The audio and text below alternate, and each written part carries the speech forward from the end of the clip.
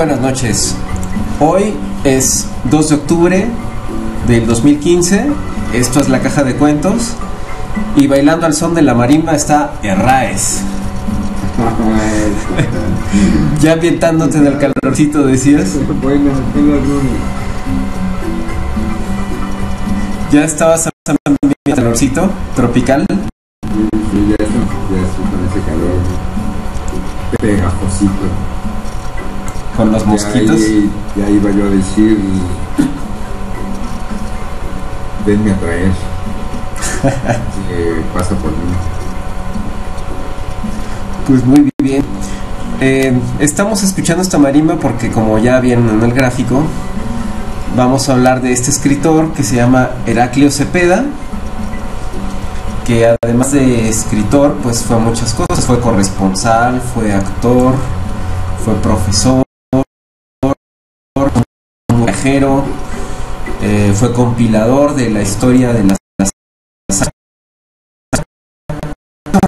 y ahora sí que la caja de cuentos se deslinda totalmente de todos los muertos que ocurran. Esta vez no, no fuimos los culpables. Eh, que hicimos un programa de Gabriel García Márquez y a las dos semanas murió. Hicimos otro eh, sobre... ¿Sobre quién fue que también murió? ¿Erraes? Ay, me escapa de mi memoria, como diría Arriola. Pero sí, o sea, fue fatídico, ¿no? Ya prometimos Sí, hicimos el de Leonard Cohen y dijimos que no se muera. Era el de Eduardo Galeano. Hicimos el de Eduardo Galeano y a las dos semanas murió también. Pues. Hicimos el de Leonard Cohen y dijimos que no muera, que no muera. y resulta ser que me voy enterando, Pues que murió Heraclio Cepeda, es lo que te comentaba, yo no tenía ni idea. Le acababan de otorgar este eh, la medalla Belisario Domínguez, ¿no? sí, de repente, de la nada, se nos fue se pega. Válgame. ¿Y cu- cuándo? Cuéntame todo el chisme.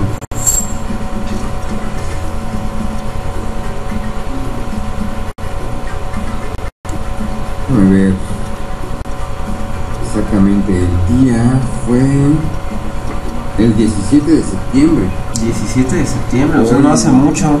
Estamos a 2 de octubre, de no se olvida. Y pues prácticamente es bastante reciente. ¿no? Y pues obviamente eh, los medios de la televisión pues se encargaron de difundir la tiene tanto tiempo que yo no veo televisión que, que no me enteré. Pues es que también abarcan el internet ahora, así que de, de todas formas ves las cápsulas. Pues fíjate que no, no me enteré No, absolutamente nada de Don Heraclio. Lo último que vi fue eh, que supe de algo de él fue cuando el Senado le, le otorgó una condecoración. Hace un momento dije la medalla Belisario Domínguez. No estoy seguro que haya sido esa medalla, este, pero tuvo un, un reconocimiento. Ya la había obtenido anteriormente, de hecho. Pero esta vez pues fue, fue tan patético que omití esas imágenes en el Senado con Peña Nieto y con...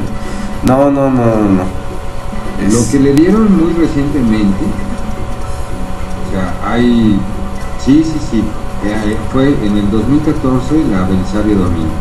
Tienes toda la razón. Ah, no estaba errado. Pero en el mismo año, 2014, también le dieron el Premio Nacional de Ciencias y Artes en, la- en el área de lingüística y literatura, que lo otorga la CEP. Y, y en el curso le dieron el doctor honoris causa por la Universidad de Ciencias y Artes de Chiapas y la Universidad Intercultural de Chiapas en el 2015. Laureado el señor. Pero es que también, este, no sé, tuvo una vida fuera de lo común, ¿no? Pues sí, pero también hablante de las vidas comunes y una persona a entender todas las mentalidades en las que se rodeó. Un hombre de rancho, un hombre de campo, después un hombre de ciudad, un, un hombre cosmopolita y pues una leyenda urbana, ¿no? Prácticamente se queda, ¿no? no sé si me cae bien o me cae mal, estoy sincero, pero este, su vida es curiosa. Eh, sus primeros cuentos que escribió muy, muy joven son verdaderamente notables y llamaron la atención de gente como Rey Ceroles. Eh, pues sí, es, es muy, muy curiosa la, la historia de Heraclio Cepeda porque de hecho hubo tres Heraclio Cepedas, ¿no? Sí, sí, sí, porque viene de familia. Así es, su primer... familia, sí, belicosita. Sí, su abuelo, Heraclio Cepeda, pues se combatió a los franceses, ¿no? Este, y aparte, eh, el libro. Y Heraclio Cepeda, pues comenta que su abuelo también eh, tuvo, tuvo por ahí en, alguna anécdota cuenta que su abuelo mató a un enemigo que tuvo, y que este, que al parecer eh, tuvo problemas con, con un tipo cacique y ese cacique se encargó de, de casi asesinarle a toda la familia. Entonces su abuelo se fue al ejército y cuando estuvo ahí, un sargento le dijo que, que se esperara a que fuera mayor para que se cobrara esa deuda. Y que fuera mayor en el sentido de la palabra, es decir, que fuera mayor de edad y que fuera mayor de grado para que pudiera tener su propio eh, ejército o su propio este eh, su propia compañía para poder combatir a este, este personaje, cosa que logró. Y en un momento en que su enemigo, el enemigo del abuelo se fugaba, montó detrás de su caballo a un niño a manera de escudo para que no le pudieran tocar.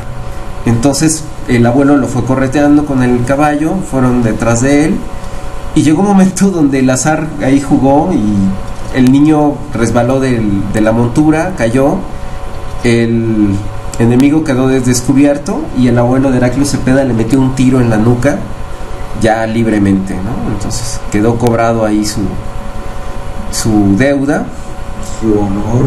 así es. Y pues bueno, ya el padre de Heraclio Cepeda, él ya fue escritor, fue político y con él recorrió Chiapas. Entonces Heraclio Cepeda pues, se hizo de una visión, que es lo que comenta, de cómo, de cómo era la vida en Chiapas. En este caso es muy curioso. eh, alguna vez hablamos del caso de Rosario Castellanos, que fue otro otro personaje que también vivió muy de cerca el, el olvido, el abuso, la discriminación de los chiapanecos. Y curiosamente, pues ambos poetas, ambos escritores, ambos novelistas, y pues le dieron voz al movimiento indígena en su. Un canal era la novela de Rosario Castellano, donde ella exponía, eh, pues a través de pequeñas narraciones, cómo era la, vida que le tocó vivir en la infancia. Y don Heraclio pues también tiene lo suyo, ¿no, Arraez? Qué, ¿eh? este, le tocó todo, ¿no? Tener una infancia muy especial. También sus propias narrativas, sus libros. Este, le tocó conocer a, a Irma Serrano, siendo la reinita codiciada del pueblo, debido a que don Heraclio o Heraclio. Heraclio Sinache que también es una anécdota curiosa. Este Heraclio este pues estaba en un periódico escolar que me parece existe hasta la fecha. La realidad se lo dan a este a un niño que tenga pues alrededor de 6 años cada año este y en un inicio eh, esta publicación escolar este se hacía en una imprenta que era de un poeta también llamado Santiago Serrano y era ahí donde hacían estas estas este pues estas tiras ¿no? estos este, tirajes para este periódico local. Así que, y curiosamente, como tú muy bien mm, este, pues, referiste, eh, el abuelo ¿no? había sido militar ¿no? y había estado en la intervención este, francesa, el padre ¿no? le toca la revolución mexicana y también pues tiene esta cuestión de las armas, etcétera, ¿no? Este, eh, este, y él mismo pues también ¿no? le toca un momento de ir este, a echar bala ahí en la cuestión de, si no me recuerdo, Bahía de Cochinos. ¿no? Y este, pues trae este linaje ahí como de gente que le toca echar bala, ¿no? Belicoso, ¿no? Impresionantemente, ¿no? Y desde la, eh, el- nace un 24 de marzo. 24, imagínate, que es un, número- es un número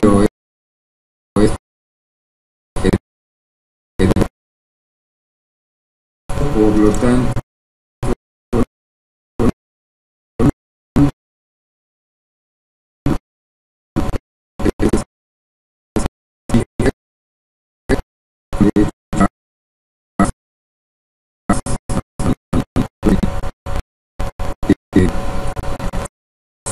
Pisces.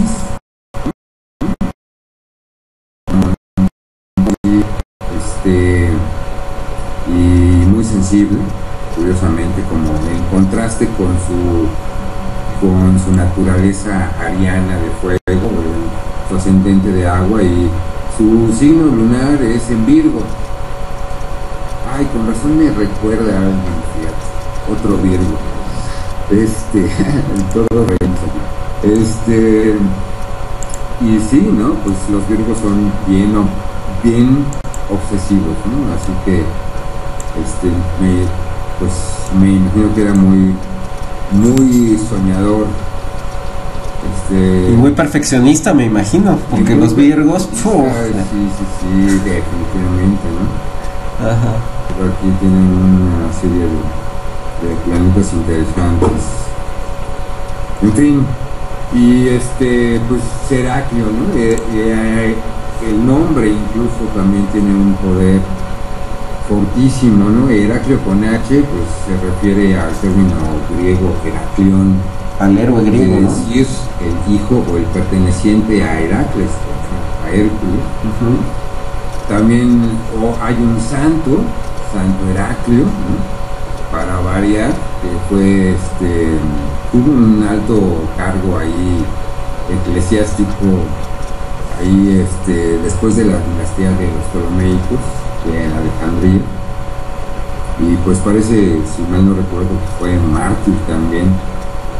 Y bueno, pues el asunto es que cuando su abuelo estaba ahí en, en, este, en el ejército, este, parece que había ahí alguien que le hacía un poco a la numerología o algo así, o que tenía alguna creencia respecto a los nombres, y estaban contando el nombre, ¿no? Heraclio Cepeda, Cepeda con y este, y pues le había dicho, no, 14 letras, ¿no?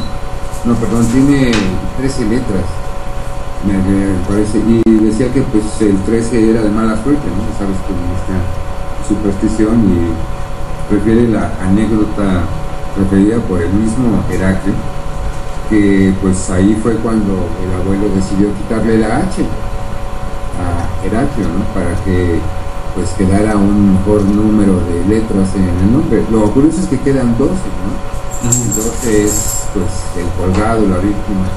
Sí. maestro alumno. En fin, el asunto es que, bueno, ¿no? es muy curioso que, que todo esté tan relacionado con la vida de este personaje tan pintoresco.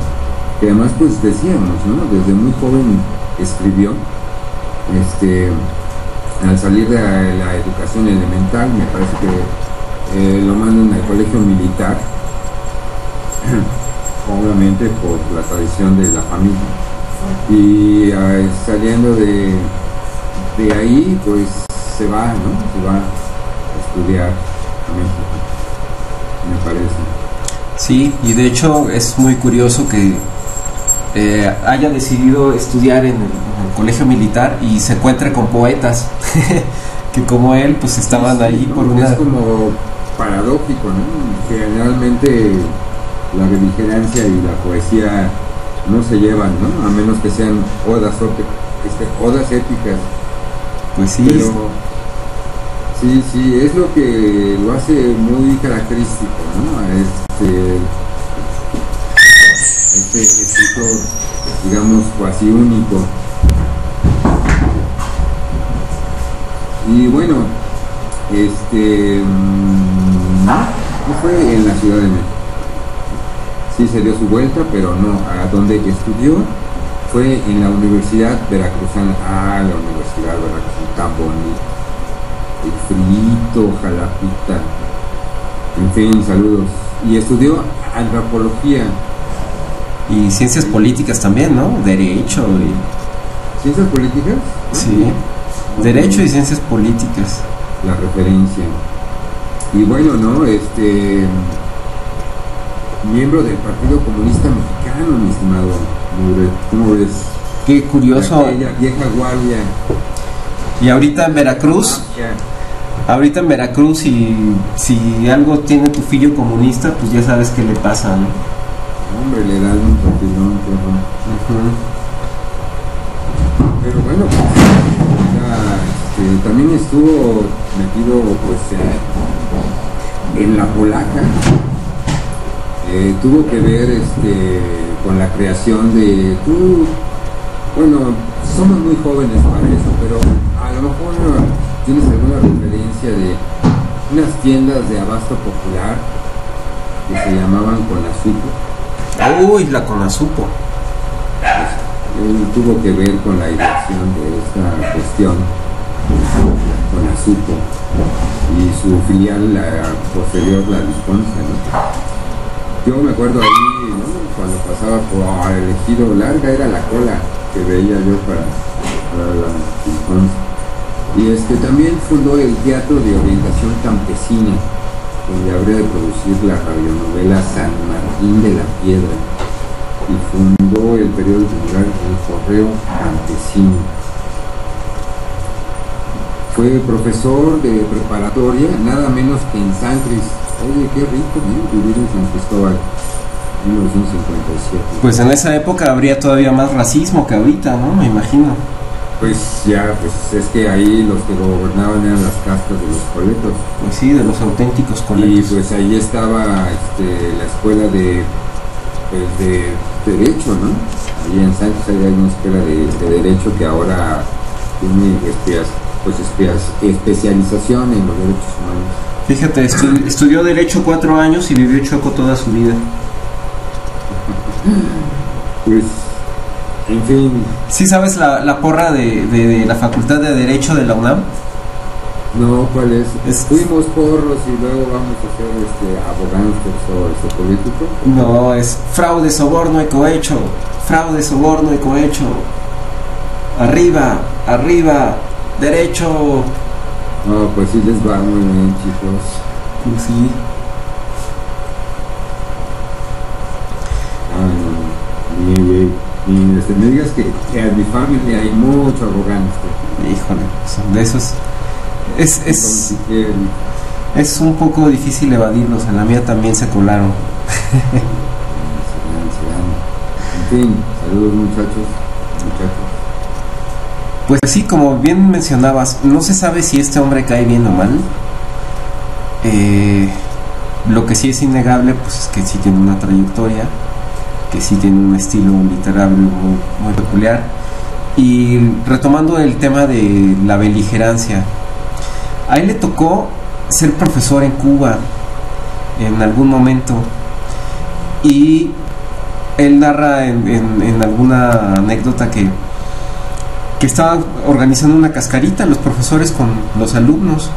Estaban ahí jugando fútbol y de repente llegó un jeep y se bajó un militar y dijo pues, que él también quería jugar, que si le daban chance. Dijo, no, pues haz tu reta. No, pues que me uno, que no sé qué, porque pues, no vengo acompañado. No, pues bueno. Entonces si quieres únete. Entonces pues ya el militar se quitó las cananas, se quitó el arma, se quitó la boina y de repente los que estaban ahí lo reconocieron y dijeron, coño, es el Che. Y pues jugaron el, la cascarita y de hecho dice Heraclio Cepeda, pues además le ganamos 2 a 0. ah, híjole, odio las anécdotas pamboleras, pero este es muy bueno. Sí, y luego de ahí, estando en La Habana, pues hubo una cena con la embajada china. Él va a la embajada china y le dice, oiga profesor, ¿no estaría interesado en, en, dar este, sus servicios al gobierno chino? Dice, pues sí, ¿por qué no? Entonces, pues eh, se consigue esto, él viaja a China y está dos años ahí como profesor. Pero en ese momento el gobierno mexicano rompe relaciones con China y se tiene que trasladar a Moscú, que es lo que le queda ahí más contiguo. Y entonces ahí, pues, ¿de qué vive? Pues improvisa un poco la corresponsalía a medios mexicanos. Entonces empieza una época de periodista. Entonces es muy curioso cómo la, la misma vida lo va llevando a hacer diferentes actividades, porque realmente su vida sí es muy rica. O sea, un hombre que, que vivió haciendo lo que más le gustó y viajó y, y todo esto, pues es fabuloso, ¿no te parece? Sí, dirían por ahí, envidia de la buena. Sí, y de hecho como mencionabas, eh, él escribe su primer libro a los 22 años y tiene ocho cuentos y se llama Benzulul. Y cuando salió este libro, pues algunos le criticaron que tenía un tufillo medio a Juan Rulfo por el tema un poco del de lo que se llamó pues es algo era algo así como el realismo mágico, pero pero el término de realismo mágico en realidad se acuña por ahí de los 70, ¿no? Y sobre y engloba pues todo un movimiento latinoamericano. Sin embargo, en México, pues por ejemplo, las historias de Rulfo que eran un poco entre realidad, ficción, pues tenían ese aire pues un poco extraño. Y pues mucha gente defiende a, a, a Heraclio pues, diciendo que no, que sus cuentos son muy regionales para empezar y que tienen más bien un, un aire como de leyenda. Entonces, este, pues vamos a ver si, si esto se cumple. Eh, ¿Sabes a quién me recuerda también? dime. Un poco. A Bruno Traven. Ah, Bruno Trave, que no era su nombre verdadero, ¿no? Bueno, ¿y cómo se llamaba Bruno Traven? Pues alguna vez Cleonauta empezó ahí de conspiranoico diciendo que ese era su, diciendo que ese no era su verdadero nombre. me dice, me dice Bonnie Borrica que es fraude, robo y cohecho. Entonces, ay, entonces ya no es soborno, ya di- directamente pasaron al robo. Hazme favor. Ya. Pues es que ya todo es más cínico, ¿no? Pues sí, saludos a Bonnie. O sea, es que todo tiene, o sea, es que tienes que aceptarlo, ¿no? Es la realidad. Pues sí, ya que, ¿qué se le va a hacer? Pues bueno, eh, la idea aquí es que el centro de inspiración que va a acompañar a Heraclio Cepeda toda su vida va a ser Chiapas. Entonces, eh, como les mencionaba, junto con Rosario Castellanos, pues dan cuenta de esa realidad, de, de ese estado tan deprimido. Y curiosamente, eh, pues Heraclio se retrató con el, con el gobierno, con el gober chiapaneco. Sí, sí, y, y otra cosita que otra que dices, no, no lo hagas, ¿no? Que también pues lo elevaron a una estrella más en el canal de las estrellas, pero bueno. Pero fíjate que a diferencia, Que siguen, ¿no? fíjate que a diferencia de Raes, por ejemplo, perdona que te interrumpa, a diferencia de, por ejemplo, un Jaime Sabines, que dices, bueno, estuvo con el poder, pero como, como que conservó este, Encanto. ese encanto, ese halo, porque incluso él dentro del, dentro del Estado perfectamente pudo definir a los priistas, ¿no? Y este Y desde adentro. y desde adentro. Entonces, si alguien tenía autoridad moral y objetiva para describirlos era él. Entonces, Sabines no pasó por esto en este sentido, ¿no? Pero, pero el Aclio como que sí coqueteó ahí con el poder y como que, ¡ay! como que, Pues como todos los miembros importantes del Partido Comunista, nunca estuvo en el poder, pero pues tiene un registro, ¿no? Tienen, un, tienen una voz, tienen dinero para el partido, etcétera, ¿no? Sí. Y es importante. Y bueno, pues también En otro momento. Se unió al hijo de Cuatemocha en otro momento. Estuvo en el. um, eh, estuvo en varias. O sea, como en todas estas transformaciones, ¿no? El registro del Partido Comunista Mexicano. Y, ah, y antes de eso en el Partido Política. En el PCM fue miembro del Comité Central y corresponsal en Moscú, el órgano, como bien habías referido, La Voz de México. Fue cofundador del Partido Socialista Unificado de México, el PESUM, y del Partido Mexicano Socialista, que pues, tuvo una corta vida. Y este fue precandidato a la presidencia, candidato a senador por Chiapas no fue ni este pre bueno ser o sea precandidato es estar cerca pero no tanto no este y candidato pues a senador pero no lo fue no fue senador. Senador pues es- es- es deseable este y lo que sí fue fue diputado federal por el PSUM y este y también eh,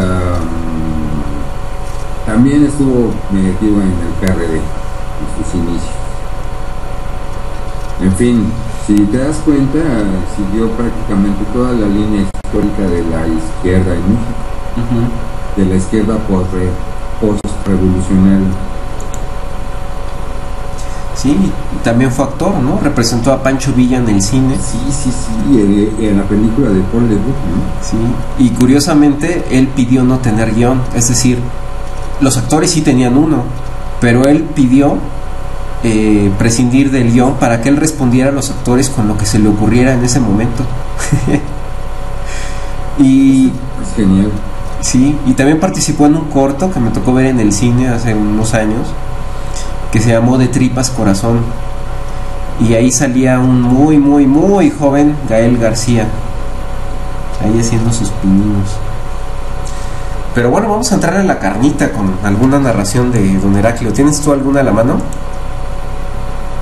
a ver pues vamos con el inicio de Benzulul ¿les parece?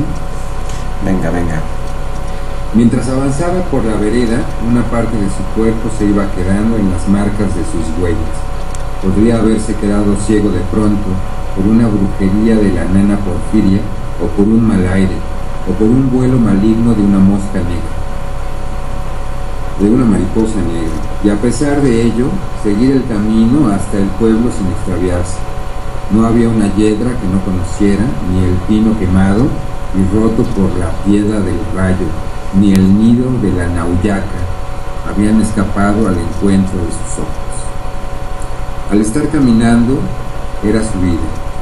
Juan Rodríguez en Zulul conocía de memoria todos estos rumbos. 22 años de marcar los pasos en esta vereda, dejar su seña en el polvo o en el lodo, según la época. Cuando asomó el gobierno para dar las tierras ya, cuando hay, entendía yo de veredas, cuando después las volvieron a quitar, ya no había quien supiera más que yo. No había cerro, no había cerro, potrero, milpa o que no tomara en el recuerdo a Pensulul forma de un suceso. En estos lomeríos hay de todo, todo es testigo de algo. Desde que yo era de este tamaño ya eran sabidos de ocurrencias estos lados. La misma caminata, siempre el mismo rumbo. De Tenejapa a la Cerradero, de para Tenejapa. Las mismas señas, los mismos pinos. En ese árbol colgaron a, Martín Tzopzop para que no le fuera a comer el ansia y empezara a contar cómo fue que los salvatierra se robaron aquel torote grande cimental fino, propiedad del ejido. Este árbol, sí este mismo, fue el final de Martí Tzopzop, El camino lo ve todo lo que pasa y el que vive en el camino sabe mucho. Yo averiguo cada huella, cada casa, cada bestia, cada muerte. Eso sí, para nada platico lo que encuentro. Es de muchos peligros, capaz quedo en algún roble igual que un Judas, para alegración de los pilotos. El Martín Soxoc tuvo mala suerte, si no va a ser mala suerte irse a topar con un trabajo de los salvatierra. Todo lo vio, desde que se le pusieron al toro la gas, hasta que se lo fueron llevando Jaladí. Luego en Encarnación Salvatierra regresó para borrar las señas y allí se lo encontró. El Martín dijo que no iba a decir nada, pero el Encarnación muy muy le quiso hacer caso. Nomás se le pepenó del pescuezo y se lo llevó para el roble. Ahí, ahí lo encontraron columpiándose con un mosquero que ni dejaba echar la bendición siquiera. Mala suerte del Martín Soxoc y de irse ese íter me hice la obligación de no decir nada. Para llegar a Tenejapa es menester cruzar el arroyo que baja del, cerro con el agua siempre fría. Benzulul llevaba diariamente el tecomate en este arroyo para conservar, aún dentro de su choza, el olor a montañas.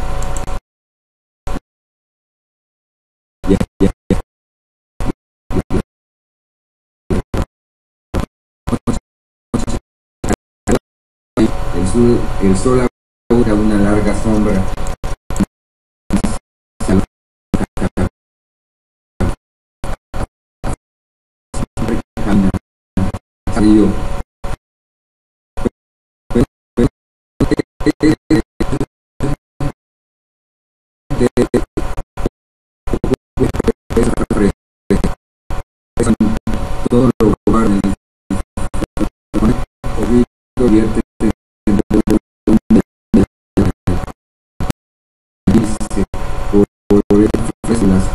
piedrillas tan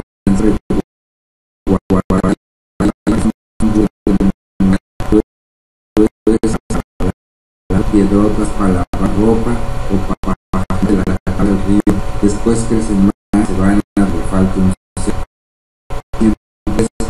es mejor guardar los no por Se lavó las piernas en el arroyo, le agradaba sentir cómo se hundían los pies en las hojas sepultadas en el fondo, piedras y hojas y agua. De allí nace todo, decía la nana.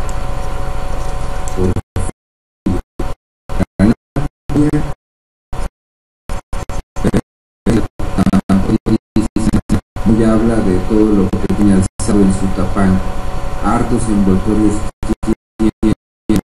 dice que son almas, cosas del diablo, por eso es mejor que se queden ahí. La nena dice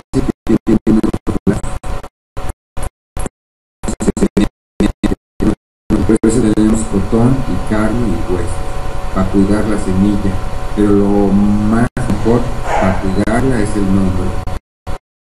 Eso es lo más. Él le da fuerza. Si tiene nombre galán, galán es la semilla. Si tenés nombre cualquier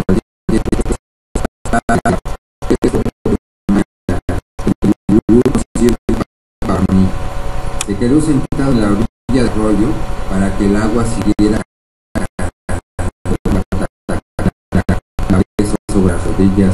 Juan Rodríguez de recordaba. Su padre, el José Rodríguez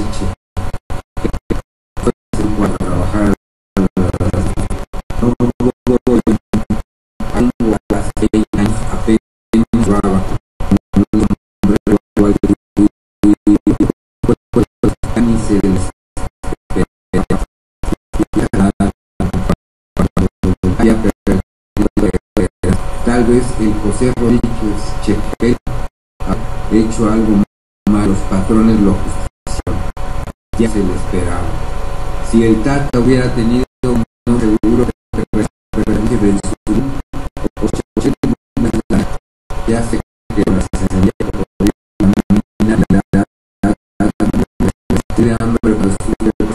fue cuando me llevaron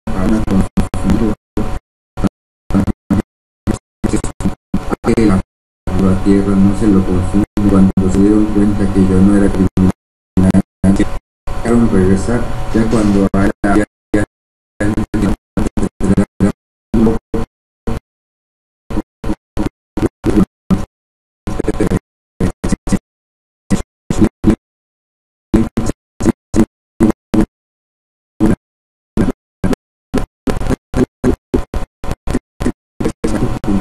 Por eso de llamar en su look o Tzok o Chechel Aquí lo veo mi cara retratada en el agua. Sé que estoy este estado, todo lo dice el sombrero. Y yo era aquí, todos vendrían a saludar y ya, ya están fijando si se a pie o vengo montado, si me tengo no. Pero si digo, aquí no se empieza a discutir tal vez me den una patada, la semilla mosquero verde. De de y el camino.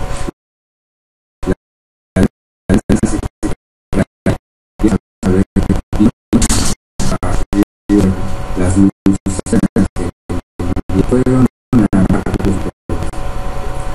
Encarnación Salvatierra su nombre brilloso como una luciérnaga. Todos saben que tiene Sevilla grande nomás de oír. Entonces la maldad y el respetado te lo agarra, roban,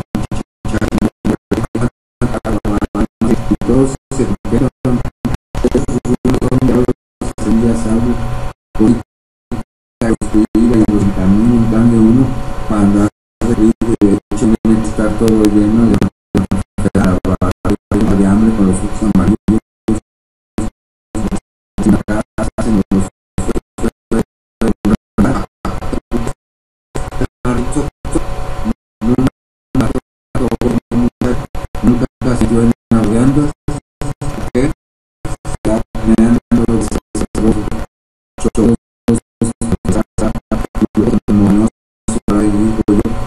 los que tienen el nombre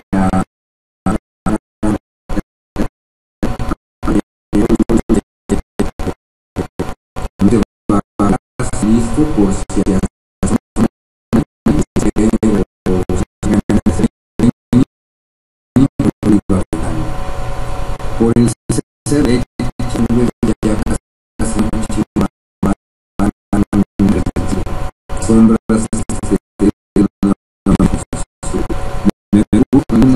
cosas en el camino la claridad saca animales los conejos abajo para ver al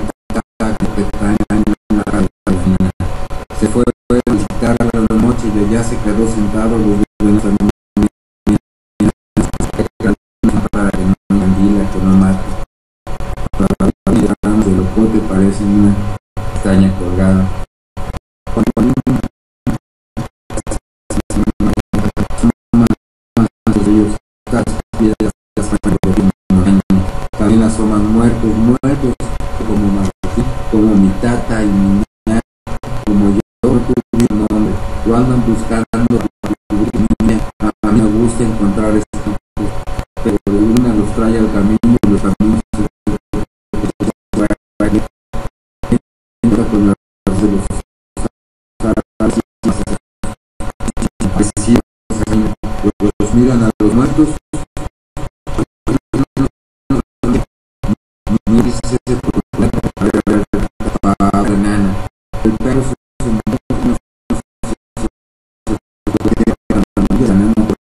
Pero tiene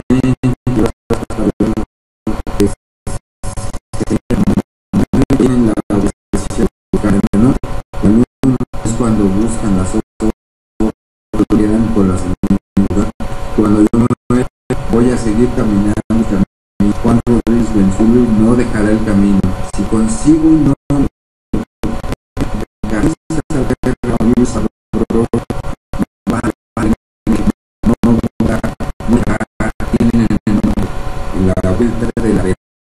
de pronto las luces de Telecap estaban igual a Benzulul no tenía al camino no podía caminar hacía sus pasos. Su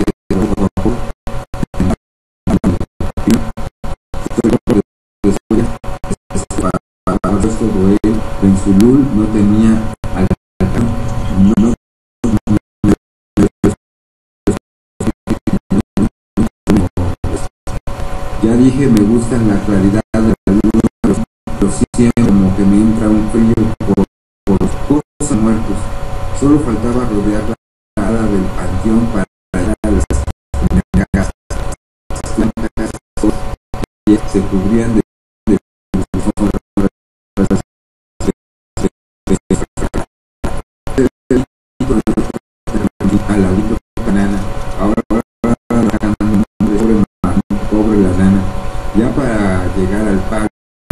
separa la vereda de la alhambra, esa misma encina que guarda su cuerpo en su luz paso sobre la niebla del panteón.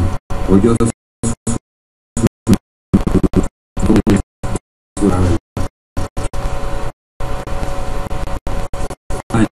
Juan, Juan Rodríguez de Insulul, Juan quise explicar, pero sintió clarito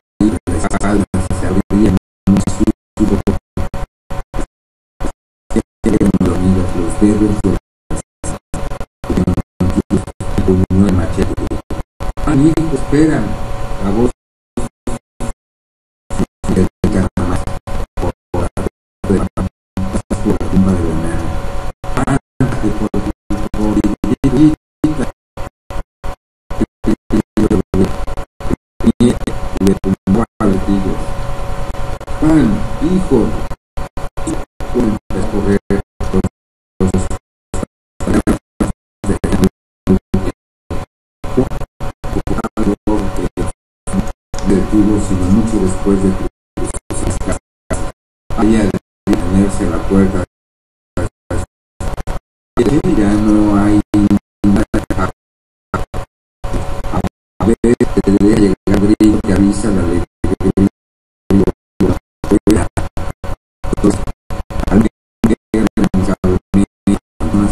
solo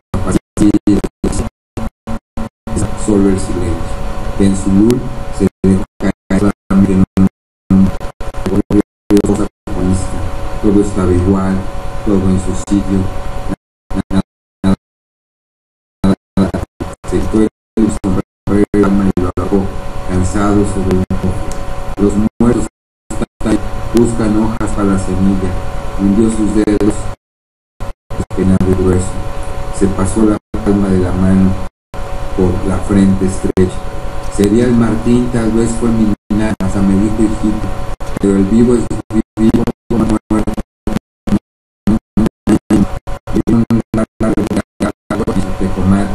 Gárgaras y escupió solamente sobre el suelo. Una pequeña polvoreada se levantó del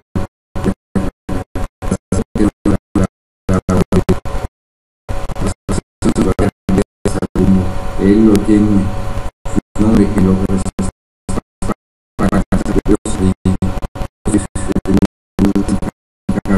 me lleva el carajo se levantó para el respoldo el café y el frijol y el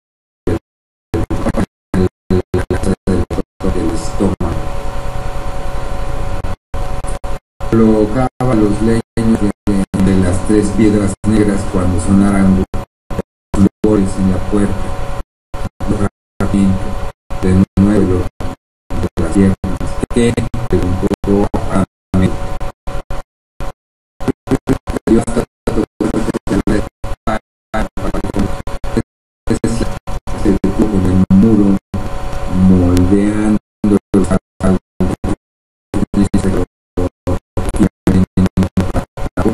Violentamente. ¿Qué te dijo? de mala cara, ¿cómo te consentís? Así dijo la Ophelia en al asentar el pie derecho de las arrugas de su rostro,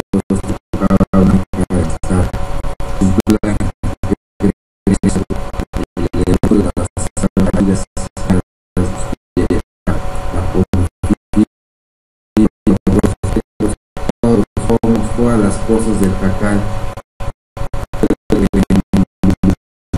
Polri dia sentuh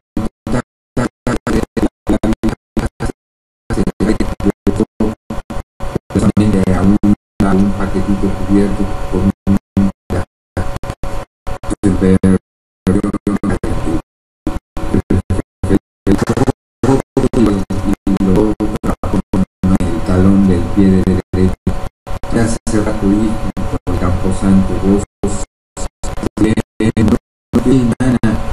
en se acercó al polvo por los años.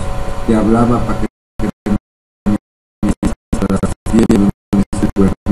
estaba buscando huesos de oro a una línea luego lo sentí dolor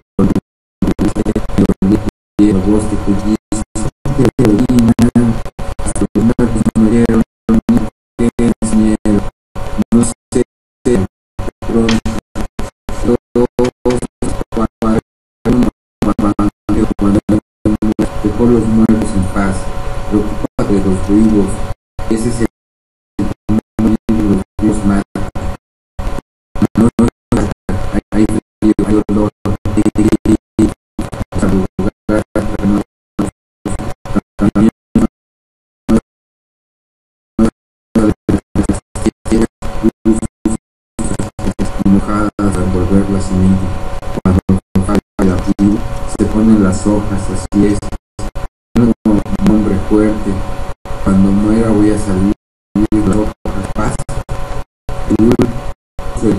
el fuego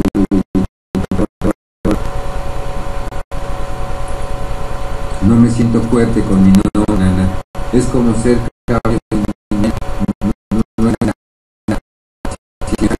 miedo de la Miento lo que veo, sé que no tengo defensa.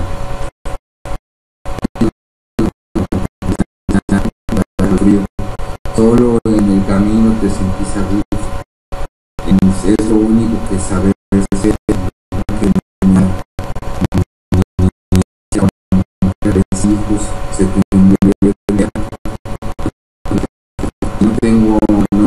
qué voy a hacer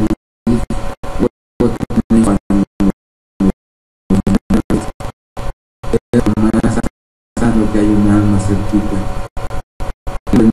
No ruido, no solo es un cuerpo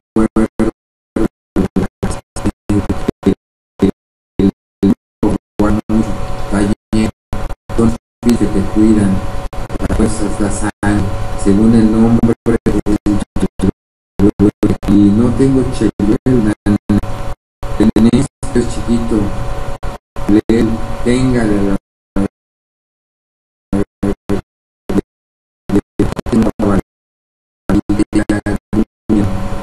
pero si le metes el cuchillo se queda quieto si quieres un más grande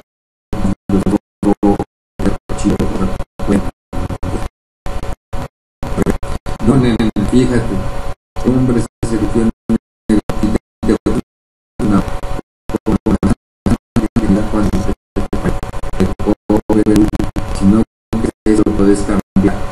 sacas el un poco de sangre al otro al que el chulel que como si desde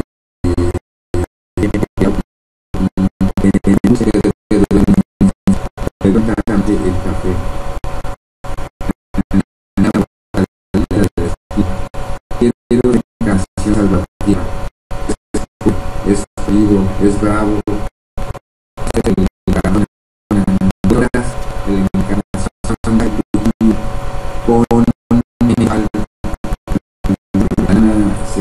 las piernas y dibujó una sonrisa. Del zulú se levantó.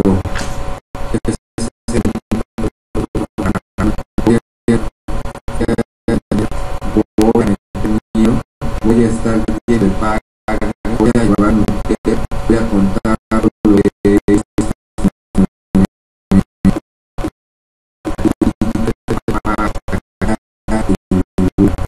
el brazo hijo, persínate,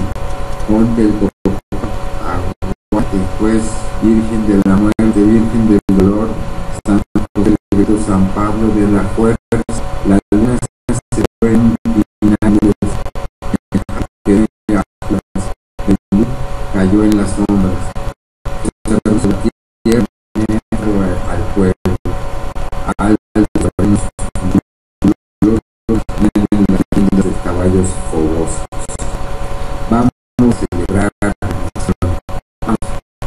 va a decir que para que veas también se vengan los acompañantes, ya lo saben, primero el deber, después el placer.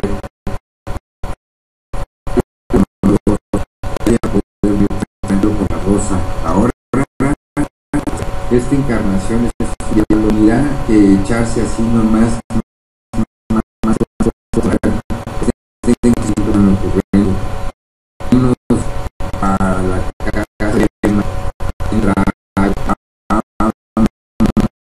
preguntaron frente a la puerta de la antina y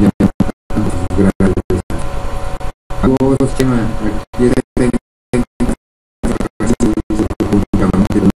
aquí contestó a los hombres. Abrir rápido es no vaya a ser que te cuelgue de los huevos. Encarnación es ocurrente. La puerta rechinó a la risa. El Chema abordándose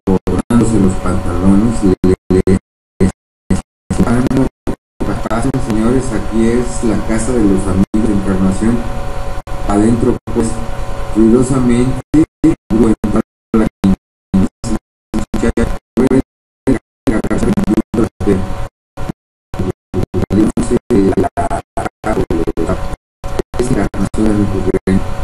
la botella fue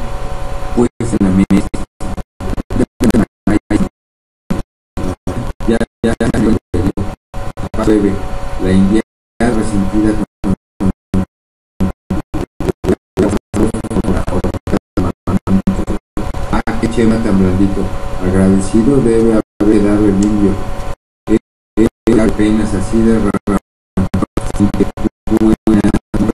tiene suerte de probarlo una risa esta encarnación se un la noche y los ya está bueno no bueno está bueno ya abre las patas para mí hoy encarnación a este de esta castilla ayer que que entre más las guerras haya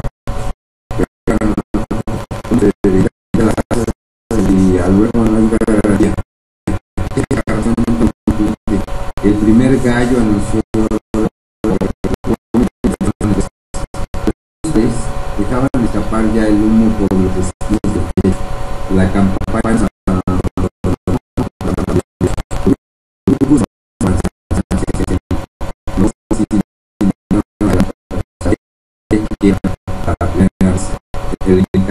el Joaquín y la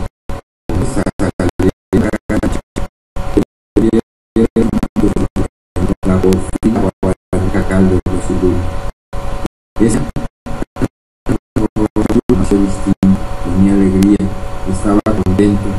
se notaba fuerte, más diablo. Ahora tengo chulel no no, no,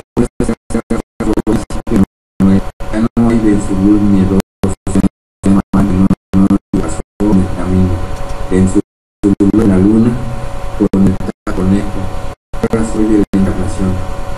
ese día se quedó en el día no fue a las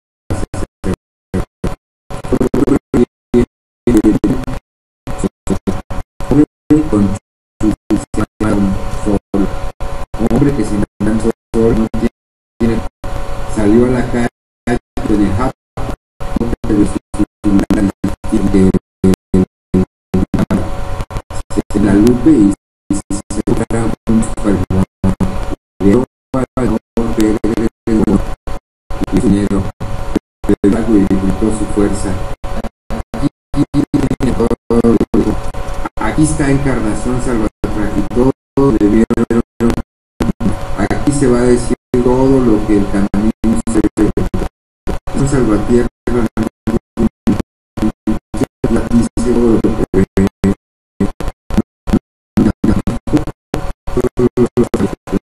en el llano lo que vio en el río lo que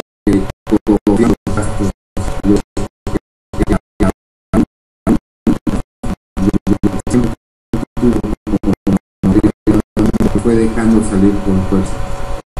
La acabación del tiempo gritaba, ya las piedras son cerros y a los cerros nadie nos detiene.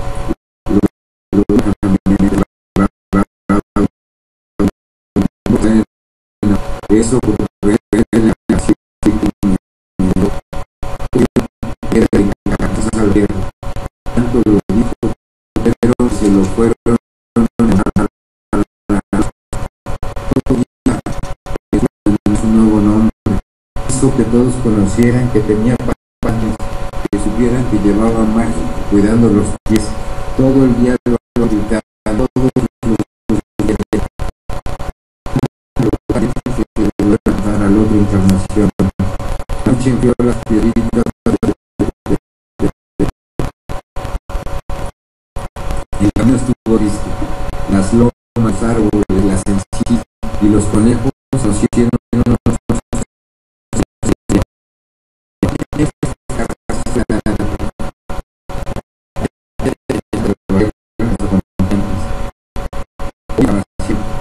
colgaste hoy en la casita? Me el rumor.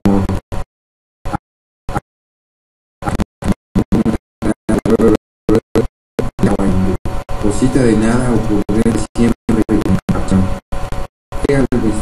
Que te colgaste, ¿verdad? No, es nomás lo colgué de los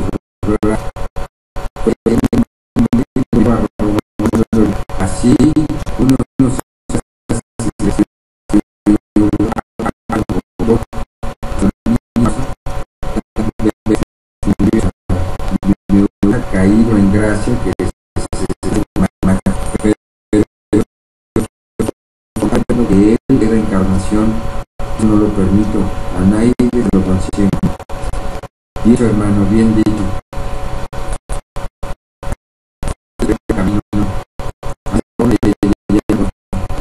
que el pueblo empezó la oración, que si él era respetuoso,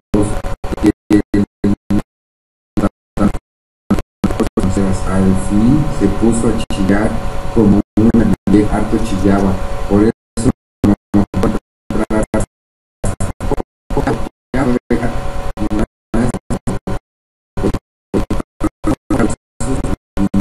que luego me puse a pensar que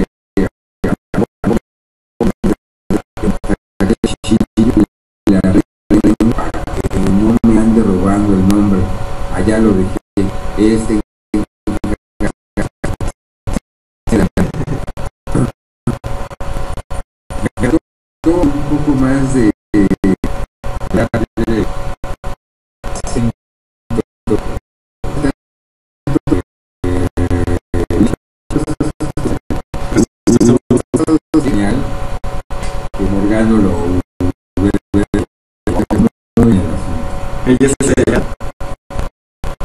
ella pues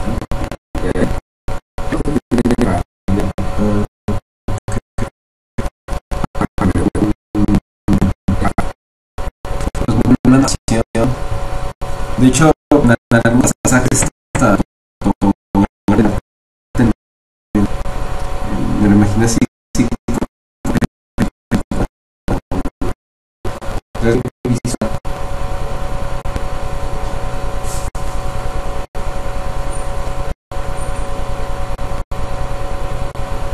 y bueno no tiene otro cuento este mismo nocturno no se asombres sargento ratón que vuela horas de vuelo quién dice la verdad muy bien yo elegí uno también. sí, pues ya exploró todos los géneros ¿no? pues hasta periodista fue imagínate bueno hasta actor yo tengo aquí un cuento que se llama de la marimba al son y está muy bueno. Dice, un día volvió a llegar la guerra. Como estábamos tan lejos y el atraso era distintivo, todo nos llegaba tarde.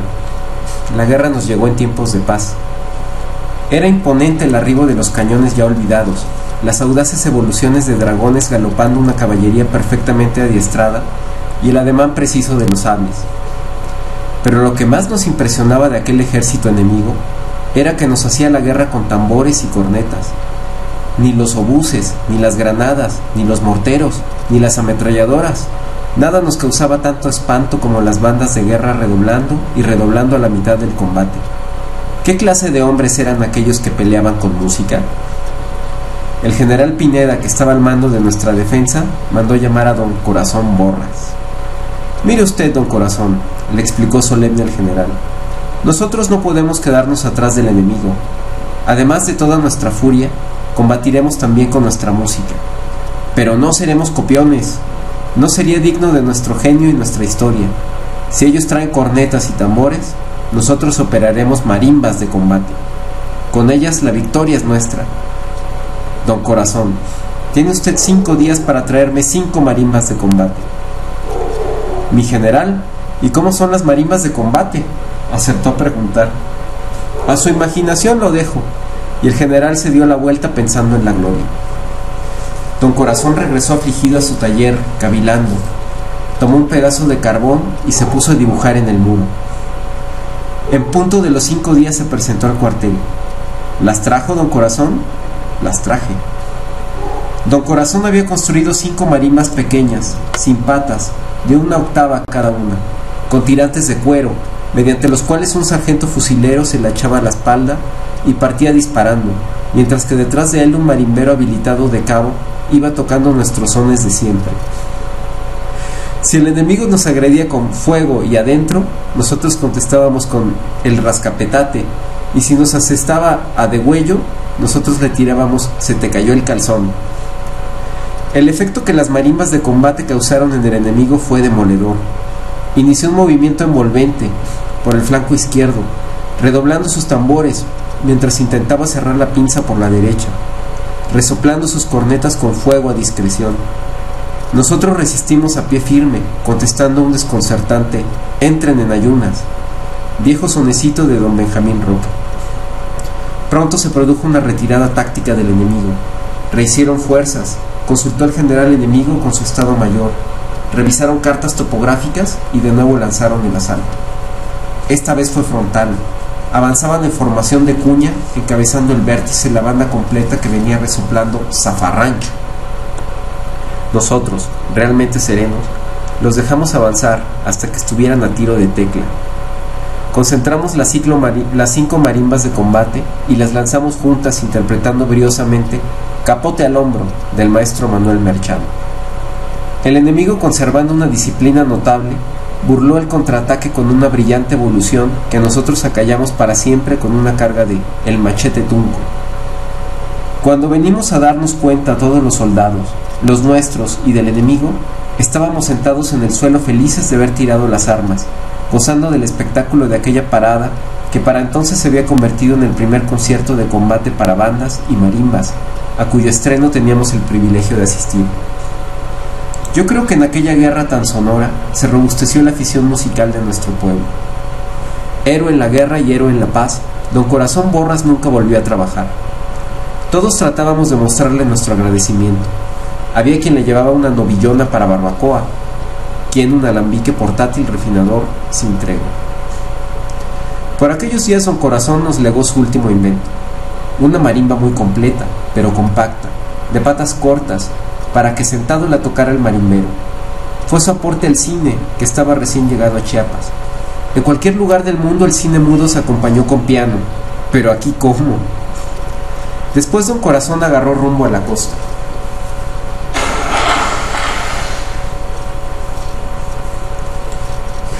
Ya me hizo daño el cambio de clima de, del frío de aquí a la costa chapaneca acá. Allá siguió su personal zafra de afectos hasta que falleció en Wixtla, atropellado por El Destino, que así se llamaba el primer camión que llegó por esos rumbos. Qué humor tan negro de este Heraclio. Pero las obras sobreviven al hombre. Aquella última marimba salida de sus manos fue galanamente interpretada por el maestro Ventura, el viejo, padre de nuestro Ventura, el joven, actual constructor de marimbas. Sentado frente a la pantalla, el maestro Venturo desgranaba las melodías de su invención para ilustrar las novedades que venían de Hollywood. Con el tiempo, desarrolló toda una lengua melódica en la que destacaban pieza para beso corto, pieza para beso largo, pieza para persecución de buenos y pieza para alcanzar a los malos. También fueron notables pieza para risa pronta y pieza para lágrima tendida. Con ella subrayaba los géneros de las películas y mucho nos ayudaba a descifrar la intención de los actores. A veces nos tomaba el pelo. Una noche nos hizo carcajear con Sarah Bernard y llorar con Chaplin con solo invertir sus melodías. Un día terrible para todos llegó el cine sonoro. La sala se llenó del inglés, de swing y de balazos. El maestro Ventura se quedó cesante y el viejo teatro Rabasa nunca volvió a ser como antes. Por fortuna, el maestro Ventura no se dio por vencido.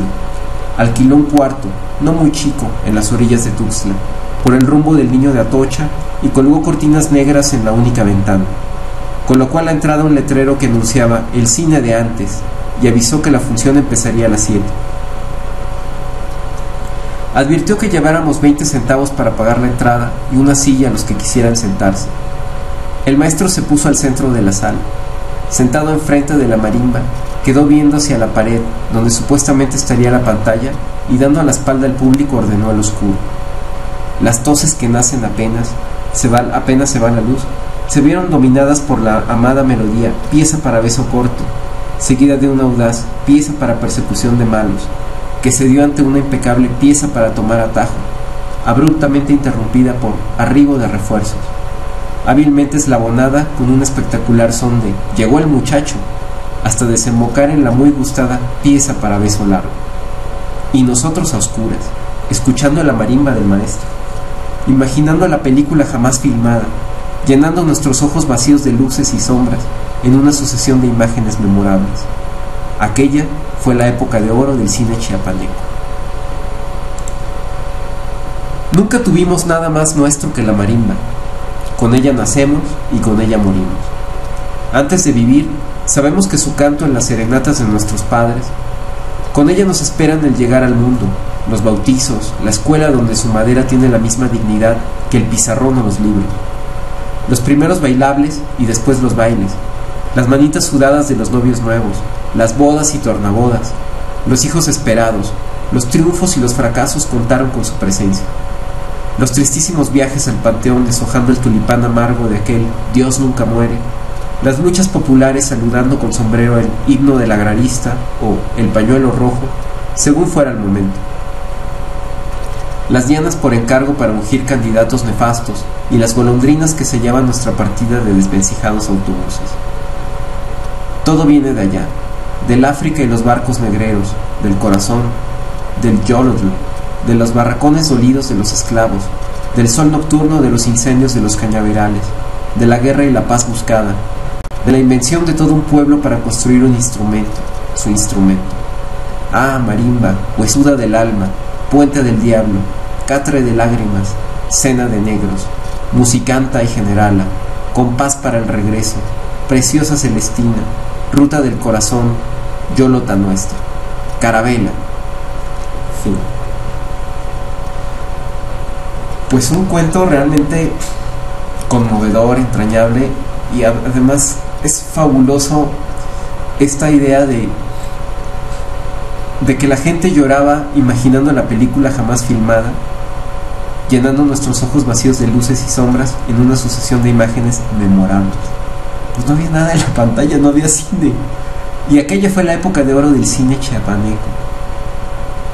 brillante, o sea, me acordé ahorita de una frase de Sabines donde decía que, que si que se llama este poema para una niñita ciega donde le pregunta, ¿sabes niña de dónde vienen las imágenes?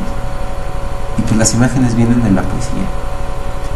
Me, me recordó ahorita esta, este cuento de Sabines. ¿Qué más, Arraiz? ¿Qué más traes por ahí? Hay que señalar también el hecho de que Chiapas es un estado de excepción. No en eh, el término militar de, de asunto, sino en, la cuestión de que es México, ¿no? obviamente tiene características comunes con el resto de nuestro país, pero es también un mundo aparte, ¿no? Es, eh, en algún momento quiso separarse, todavía hay una facción separatista en Chiapas, sobre todo en el área del de, Soconusco. Este, tiene un contrato con, con la federación este, que se supone que tenía alguna caducidad es un estado también, ¿no? Donde primero llegaron los europeos que el gran automóviles, porque tiene una geografía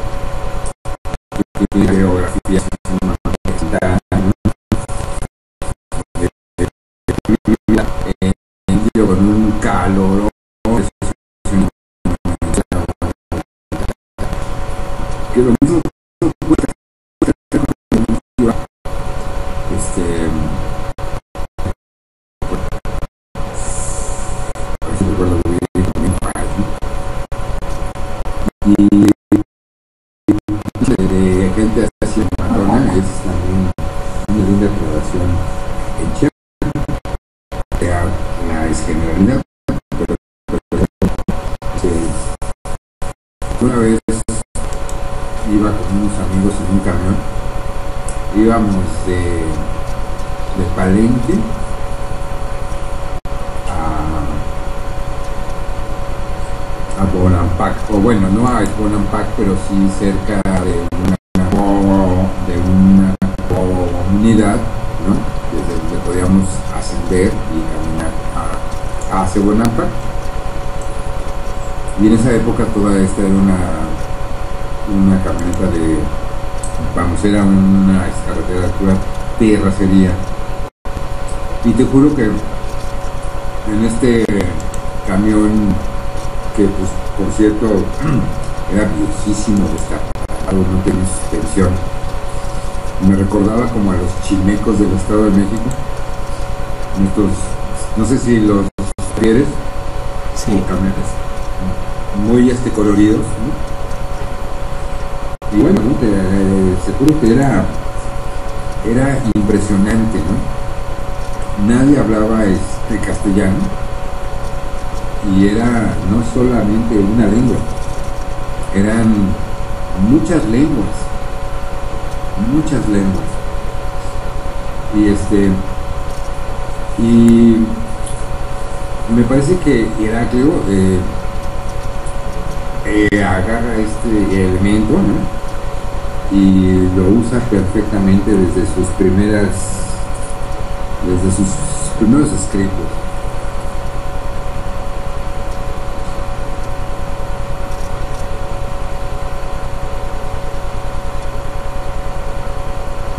tengo por aquí un cuento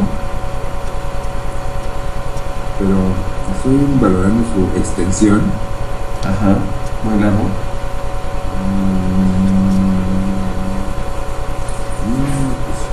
Mm, Tenemos como 20 minutos todavía. Ah, en 20 tal vez sí. Y es que tiene un nombre bastante sugestivo. El caguamo.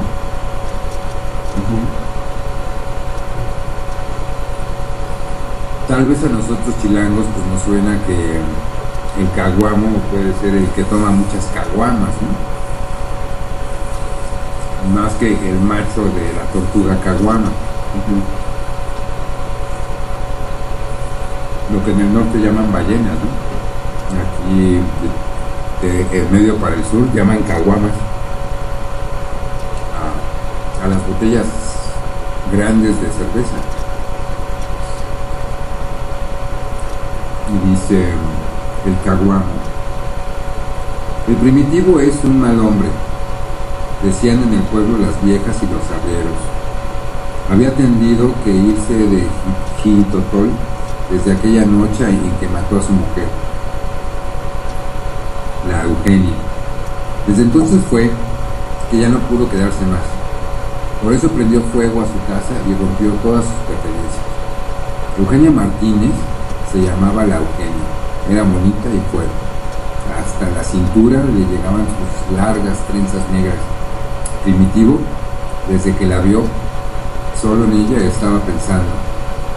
No descansó hasta no verla trepada en la manzana de su montura, pasando a galope los últimos jacales del pueblo. aquella noche empezó la desgracia del primitivo. Primitivo Barragán la vio por primera vez una tarde en que regresaba de la milpa. Estaba la Eugenia lavando ropa en las piedras del río, aquellas piedrotas que parecían grandes tortugas blancas. Hasta que hallé el almenau, se dijo Primitivo. Quiso hablarle allí mismo, que desde ese momento supiera por qué a Primitivo Barragán le decían el caguamo. Quiso llevársela de una vez para su casa. La vio largamente, sus pechos desnudos, fuertes como naranjas, sus brazos hechos para el trabajo y la calicia, sus gruesas piernas bajo la falda bufada. Así la estuvo viendo hasta que se decidió hablar.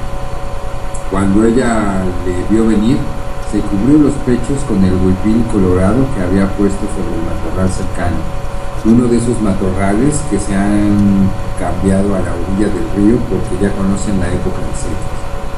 ¿Qué pasó, Eugenia? Ya me habían dicho que así es como te llamas. No había pierde. Ojo, color, sacate bueno, tiene la Eugenia. Me dijeron en la tienda de Joaquín. Y por aquí vos sos la única encina.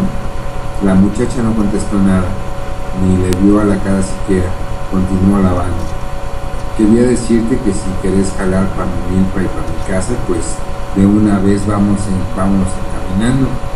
Hay que ser prevenidos para el tiempo de aguas, que es cuando se enfría la madrugada, y luego no hay nadie para estar platicando.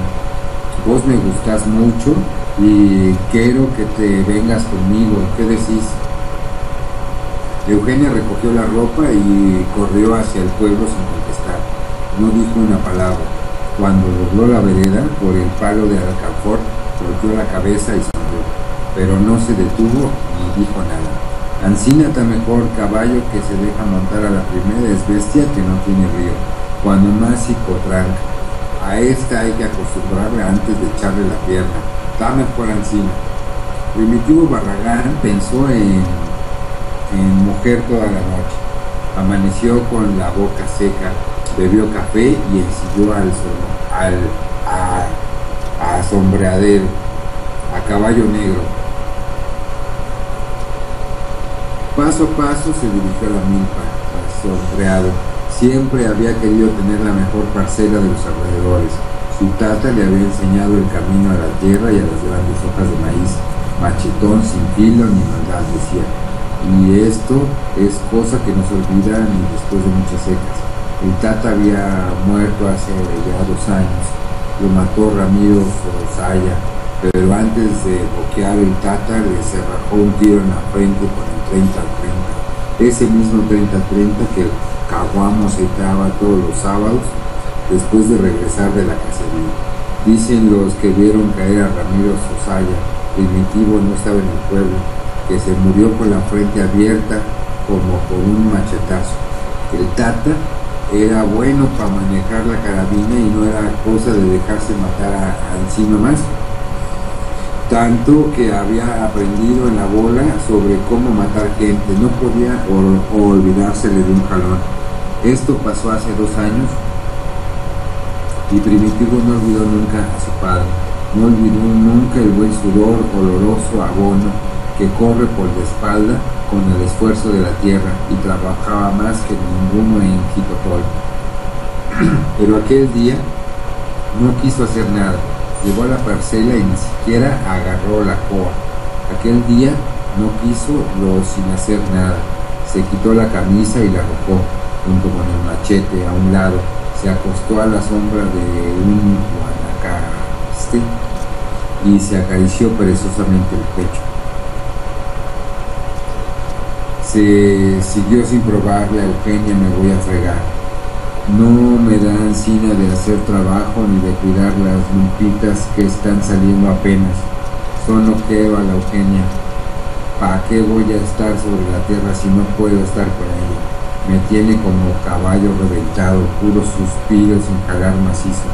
Cuando el sol ya no se vio sino por encima de las últimas ramas de Guanacaste, Primitivo montó el sombreado tomó el rumbo del pueblo procurando pasar por el recodo del río donde Eugenia había estado el día anterior. Allí estaba nuevamente, ahora ya no tenía los pechos al aire, llevaba un hermoso huipil bordado y se había peinado sus grandes trenzas con uno de esos listones amarillos que vende don Joaquín. ahora es cuando, pensó Primitivo, se acercó sin desmontar hasta donde estaba la muchacha le vio a los ojos y ella sonrió. Así se estuvieron sin decir palabra hasta que las voces de otras mujeres se acercaron por la cañada. Mejor es que te vayas, primitivo. Entre la gente que viene está mi nana. Si te ves, se lo dice a mi tata y ya ves cómo es ese de bravo. Capaz que te reclame. Ah, que la Eugenia, hasta que te oí de hablar. Y ya, es, ya que es la oportunidad, te digo que anoche no pude dormir pensando en vos. Yo era, ya era muy noche cuando quedé. Recordé con el aviso del gallo y todavía te sentía. Y de una vez, para que lo sepas, estoy pensando que lo mejor es que te vayas para la casa. Si no, solo voy a estar como tu casa, piense y piense, y no voy a tener las siembritas ni los animales. Y si el viejo Martínez es tan bravo como decís, pues que se enoje de una vez por algo bueno Eugenia se levantó y sonrió con aquellos dientes que parecían granitos de arroz alineado. Cuando aparecieron las mujeres que venían a lavar, Primitivo se perdió en el camino. Eugenia le vio irse con la sangre abultada. El caguamo Barragán era hombre estimado. Se le reconocía su empeño en las labores, su hombría y su gran honradez. Recordaban cómo había recobrado las vacas que los abajeños quisieron robarle el año pasado a doña Matilde. Él las encontró por allá, en el rumbo a Tapindula, y desde ese lugar se trajo honrados a los dos ladrones, al ganado completo. Hombre honrado era primitivo y en Jipetol las riberas eran ni siquiera peleaban en la cantina, ni rompían botellas a balazos. No tenía enemigos. Primitivo Barragán era hombre cabal, eso sí, todo el mundo sabía que el olor de mujer encantaba y que luego, luego agarraba camino para buscarlas. Por eso es que el mal hombre le decían el caguán. Llegó al pueblo de la tardecita a la hora de la última contada del ganado. Las muchachas estaban entrando a la iglesia y ahí iba la. Se cruzaron la vista y Primitivo hizo bailar a asombreado enfrentito del atrio.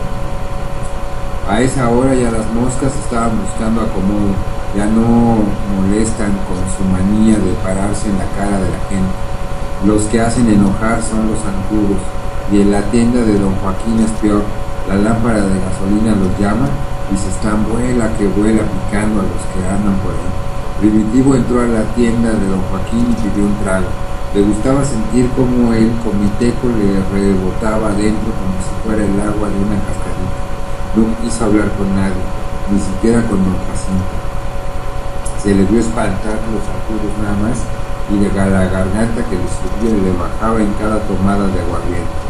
El viejo reloj de campana que don Joaquín luce orgulloso al lado de los pomos de la brillantina marcó las siete.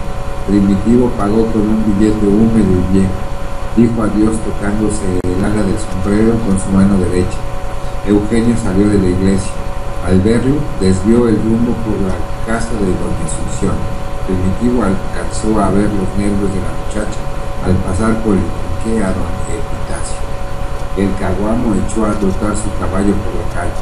Los cascos sacaban luces del empedrado. Mazorca de la calle graneaba relajas. Alcanzó a la Martínez por allá, por la cerca que tiene un palo de tamarindo. Allí le habló. Solo don Maguín González, que había salido a darle aguas a sus bestias fue testigo. Vio cómo la Eugenia se reía de las cosas que le decía el caguamo. Vio cómo él bailaba a su caballo. Vio cómo la Eugenia se le fue acercando y cómo el primitivo la tomó de la cintura con su brazo izquierdo, aquel brazo izquierdo al que Tata Baraján enseñó a manejar la pistola igual que el derecho. Yo también, cómo la alzaba hasta la manzana de la silla. también vio cómo le ponía la mano sobre los pechos cuando empezó el galope.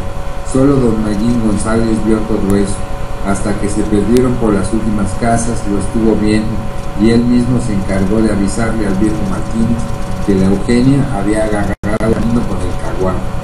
Y ahí empezó todo lo malo para Primitivo. Allí empezó a hacer lo que es. Allí empezó a irse por el camino chueco. Allí empezó a matar. Primero fue al viejo Martínez. El viejo Martínez le puso una emboscada. Estaba echando espuma por la boca desde que supo que el primitivo se había llevado a su hijo. No comía solo de pensar que el primitivo dormía con la Eugenia. Al principio realmente el viejo no se enrabió tanto. Era una molestia que la Eugenia se hubiera ido así nada más, sin avisar, como si fuera una gallina que ya le anda por allá al gallo. Era cosa muy de ver que la Eugenia quería hombre, su y su natural se lo exigía. Ya estaba reventándose, pero pudo haberle avisado a su pata para que arreglaran todo. Y aún así, la cosa estaba bien pese a todo. El, prometido, el primitivo era un buen hombre, trabajador y hasta en fuerza estaba bueno. Todo se hubiera compuesto y la gente se hubiera olvidado de que el caguamo se la llevó sin dar aviso. Todo se hubiera arreglado, palabra que todo hubiera salido derecho. Pero luego empezaron las habladas. La gente inventó cosas que decía el primitivo, que la Eugenia no era hija del viejo Martínez, que él había visto el lunar que es marca de la familia de don Alfonso el Arriero, el mismo lunar que aquel lleva en la barriga. Ella lo tiene, solo que un poco más por debajo. Eso decía que el caguamo andaba contando. Luego dijeron que el primitivo hacía caminar desnuda por el camino a la Eugenia para que todos vieran el lunar. Luego le fueron con el chisme de que el caguamo decía que no solo con don Alfonso había tenido que ver la nana Martínez, que también con don Crescencio, el de la finca, el suspiro, y que con don Rodrigo Láñez, el juez de Tapirula, se había ido a pasar unas noches para arreglar no sé qué asunto pendiente del viejo Martínez, y que hasta con el cura de Ixhuatán había vacilado. El viejo ya no se aguantó. Toda la gente decía los chismes, le empezó a dar rabia ya no soportaba que la Eugenia viniera con el primitivo Barragán. Empezó a contar que el primitivo era hijo de una vieja alegre de Tapachula, que le quedaba muy bien el apellido porque Barragán quiere decir hijo de querida, y también contó que lo iba a matar, que lo iba a venallar. Tanto lo dijo que ya no pudo echarse atrás. Se escondió detrás de unas piedras al lado del camino. Allí esperó el paso del primitivo era la única vereda de la milpa a casa del caguamo. A fuerzas tenía que llegar. En ese lugar estuvo esperando el viejo Martínez. Acariciaba nervioso la escopeta de chispa que le había prestado su compadre el menino, el de rancho La Buena Fe. Buena escopeta era esa. Ya antes le había usado para matar a Gregorio López, aquel arribeño que quería quitarle a una mujer que tenía en Pueblo Nuevo. También le había usado para tirar venados en las casillas. Todo el día había estado preparando la carga para la escopeta, pura posta grande había escogido pólvora bien fina, alemana, de papotito verde, para que no fuera a salir de su domingo 7, para que de una vez quedara muerto el caguamo, para que se lo llevara el diablo de un janón. El primitivo era muy hombre, muy valiente y si quedaba herido podía rebotarle la suerte como pasó a la mera hora. Todo el día estuvo pues el viejo Martínez arreglando la muerte del barragán. Asoleó bien la pólvora para que estuviera bien seca y lista para el chispazo. Pesó bien la carga, taponeó con ixcle escarmentado, el cañón de la escopeta para hacer el primer taco de polvo Puso las postas revisándolas cuidadosamente como si estuviera comprando cuentitas de vidrio en la feria para que ninguna estuviera defectuosa. Hasta le puso un huesito de muerto que diera la buena suerte. Todo lo hizo con esmero, que nada quedara a la mano de Dios. Así fue que preparó la muerte del caguano. De pronto le empezaron a temblar las piernas, primero muy poco, después muy fuerte. Un sudor frío le recorrió la frente y se le fue a meter por todo el cuerpo. Cualquier ruido lo hacía saltar. Ese estar esperando al caguamo era interminable. Cuando pasara el maldecido para que todo acabe de un tirón. El viejo sintió que le faltaba el ánimo. Este muerto no sería como el del pueblo nuevo. Entonces estaba más joven y además había amigos cerca y era de noche y aquel venía borracho. Ahora el caguamo era el del turno y era fuerte el condenado. Tenía que romperle la cabeza o el pecho para que cayera bien. Si no, podía salir perdiendo como sucedió al fin de cuentas. Si tan solo estuviera ya encañonado, Galán va a dar la machincuepa desde el caballo. Echó saliva en el grano de puntería. Sentía un peso en la boca del estómago que le subía hasta el pecho. Creyó que no podía mover las manos, probó y vio que le sudaban y estaban gomosas. Ya no sentía los testículos. Se limpió el sudor de la frente para que no le cayeran los ojos. Que ya venga el caguamo, que asome de un jalón. El cuero del dorso se le pegaba a las costillas y le oprimía los pulmones. Tenía fría la nariz y los dedos. Quiso hacer una necesidad, pero tuvo miedo de que Primitivo asomara en ese momento y no se movió.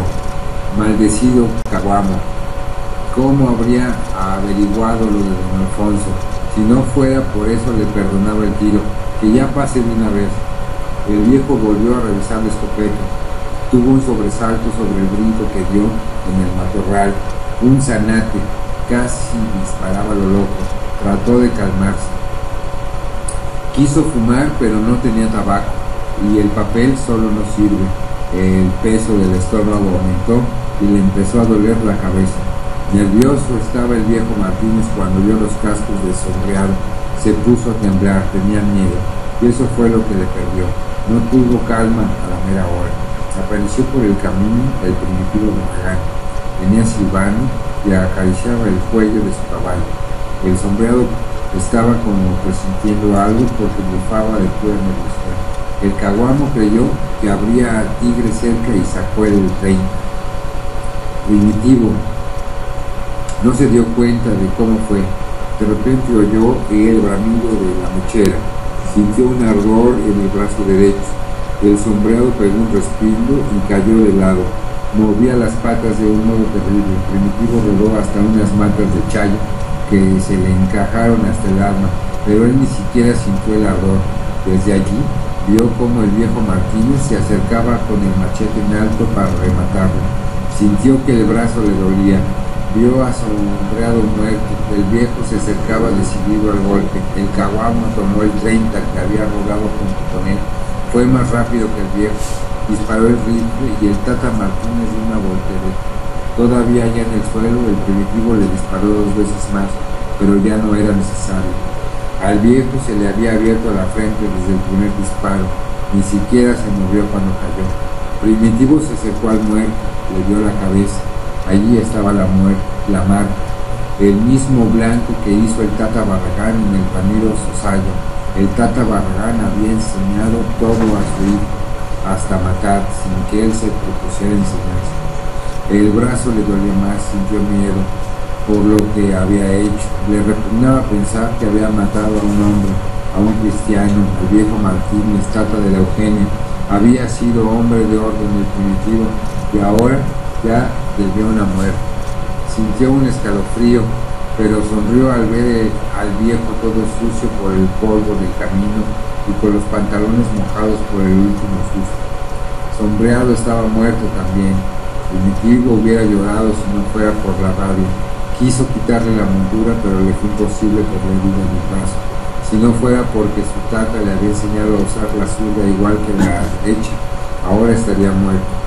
Fue con la izquierda con la que apuntó la boca de la carabina a la cabeza del Martínez.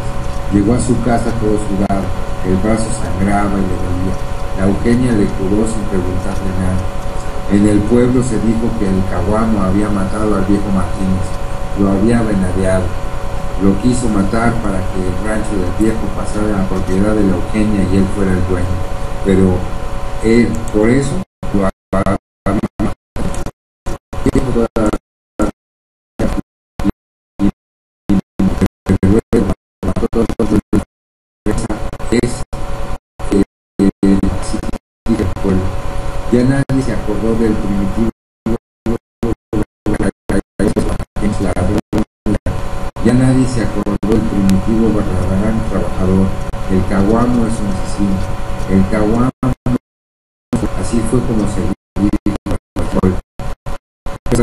desgracia del primitivo Barragán. Nada de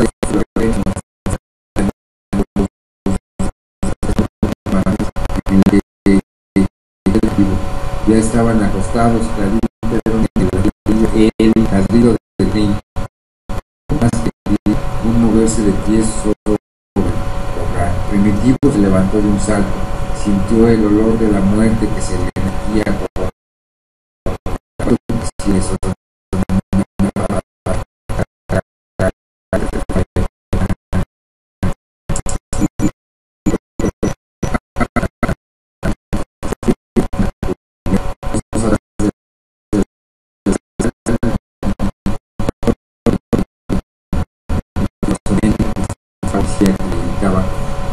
de preso, Caguamo, te venimos a agarrar por la muerte del viejo Martínez. La Eugenia de un respingo y, y fue de un jalón de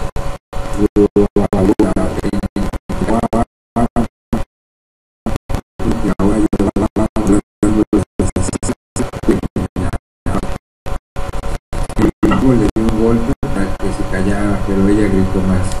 Tuvo que para que se quede cuando que solo el equipo de producción estaba en el mismo lugar, en el bramadero.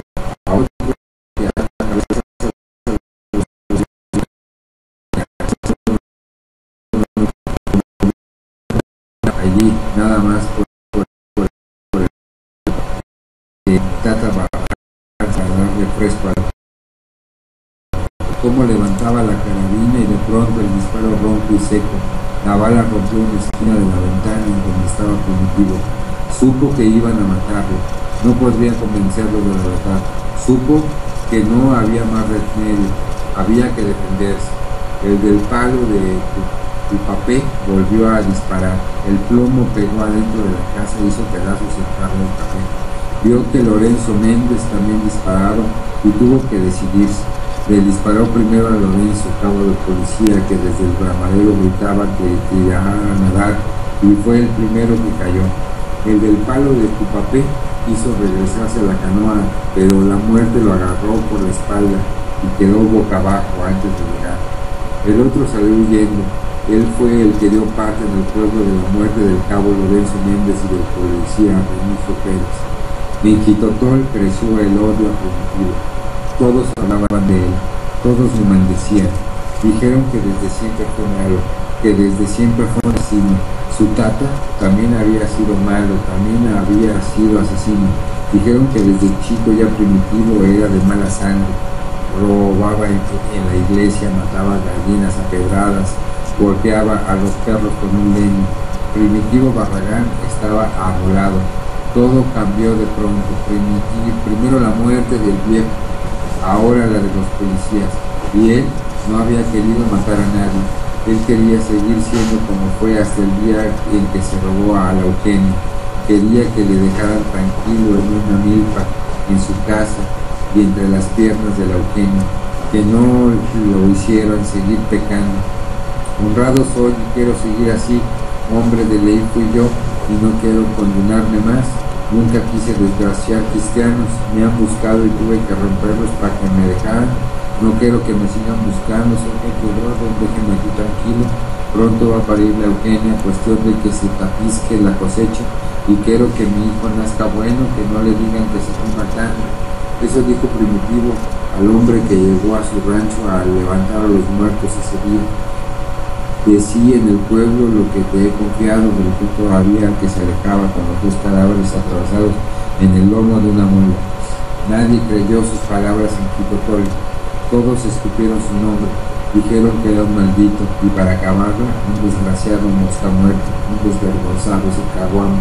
Pero no hubo nadie que quisiera ir a apresarlo, le tenían miedo, ya su nombre daba miedo, Primitivo Barragán, el hombre querido y estimado se convirtió en una semana en el odiado y temido Caguamo Barragán, pero nadie quiso ir en, su búsqueda. Esperaban que la escolta federal pasara su visita dentro de un mes para que ellos le aprendieran.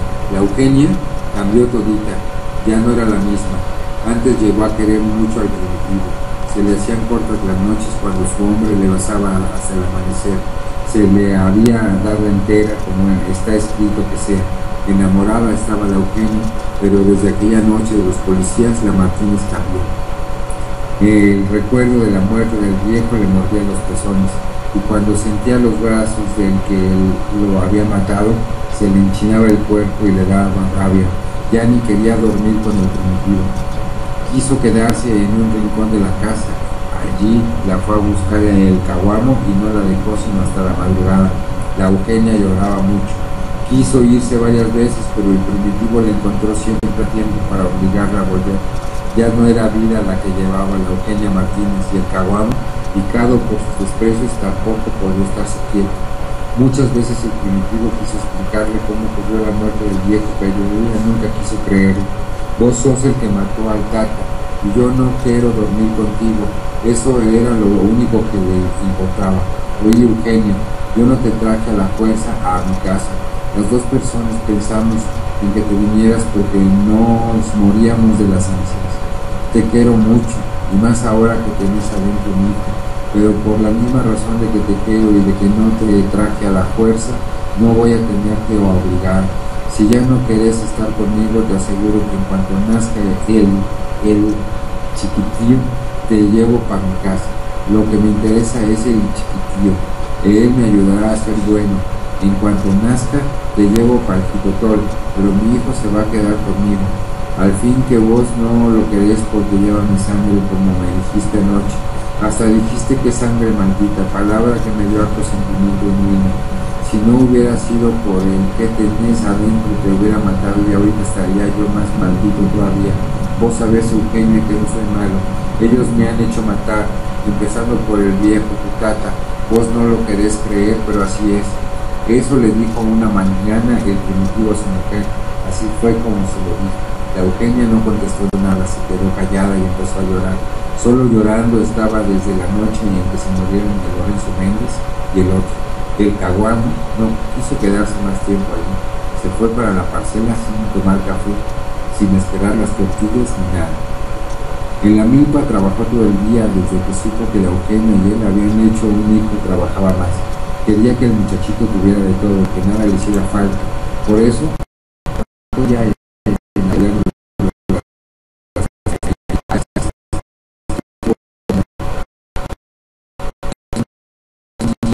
los ahorros de, ramas los y el caguán estaba contento hizo planes para vender la milpa después de la cosecha e hizo que montaña allá la tierra es mejor todavía. Es cosa de sentar más. No hay peligro de que lo obliguen a sentar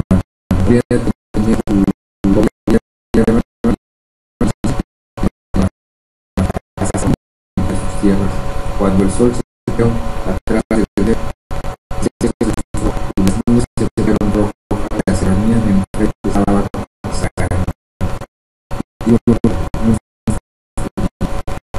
Ya,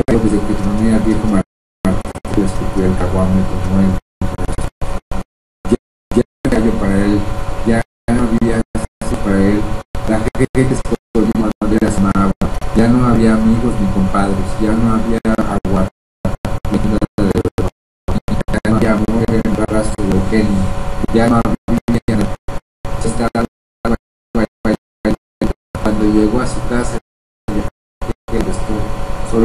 estaba la buscó por casa solo estaba buscó por todos los alrededores gritando la Eugenio la divisó entre unos matorrales a la orilla del arroyo. Le gritó pero no le contestó. Corrió hasta donde ella estaba. Sintió un chorrito de por la espalda cuando le llegó. Se La Eugenia estaba tirada en el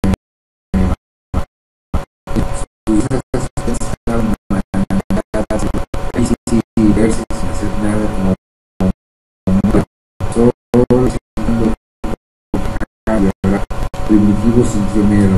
No sabía qué había pasado, pero sin miedo.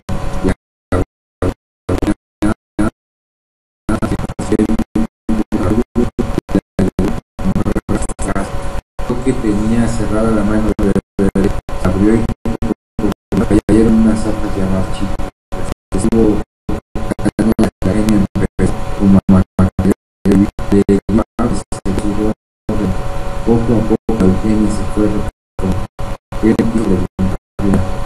Quería que desestresara. Eugenia comenzó a reírse con una y a gritar y a llorar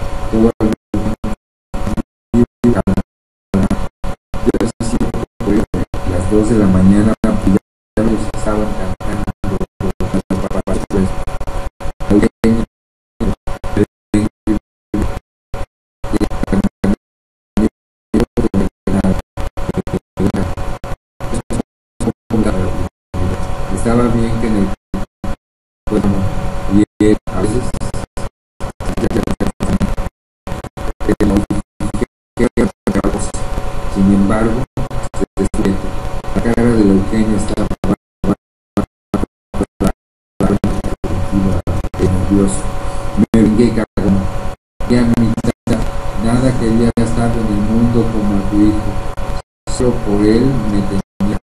No me dejaba regresar a mi casa me por el la hierba para matar. Por eso lo saqué antes de tiempo. Me vengué caguán y dijo la arroyo me vengué cabrón. Así dijo Martínez y empezó a reír. Diego sintió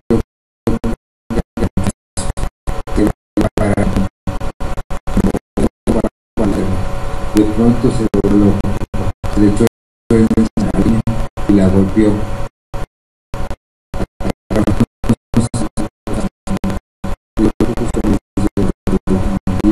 Después sacó el cuchillo que tenía para beneficiar los animales en las cacerías.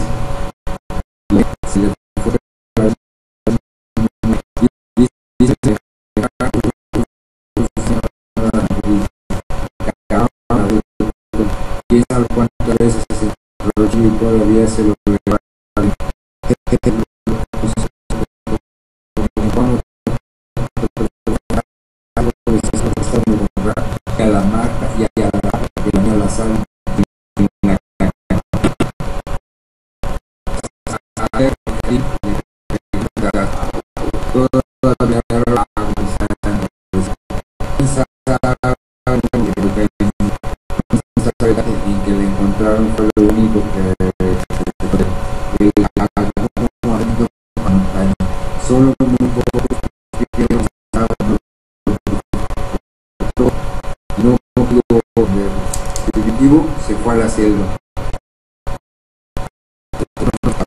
en la montaña y ahí se tomó maíz, lejos de todos los que le conocían. Trató de que nadie supiera nunca nada y,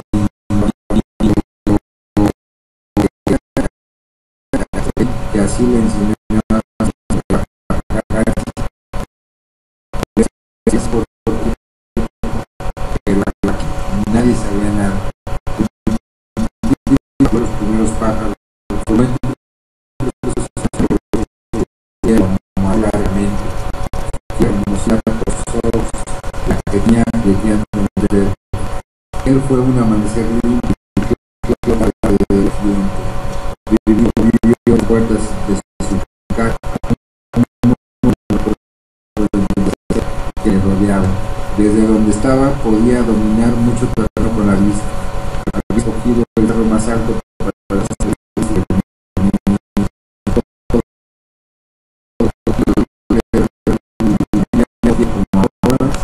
tantito la vista era capaz de y había un negro de su casa derribada por el fuego. Y eso ponía dos años tenía en esta nueva tierra y sus pocos vecinos los amaban sobre todo el viejo Bruno Farrera. Y desde que cayó pronto al cabo cuerdo sobre los hombros. Nada nada. Quiero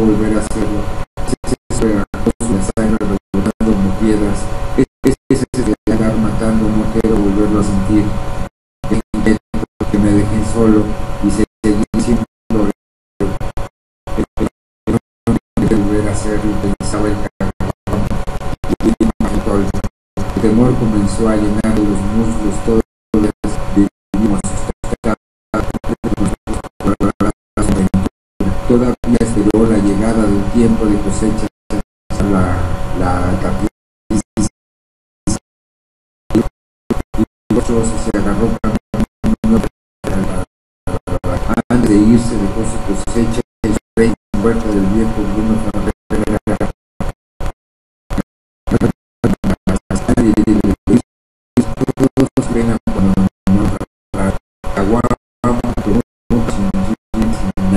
Espero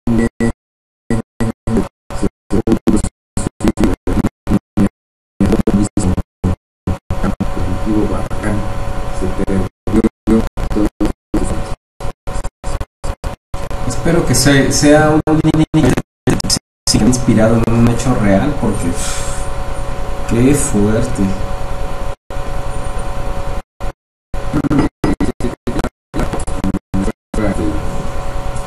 Esto no es, esto no es raro. Pues no.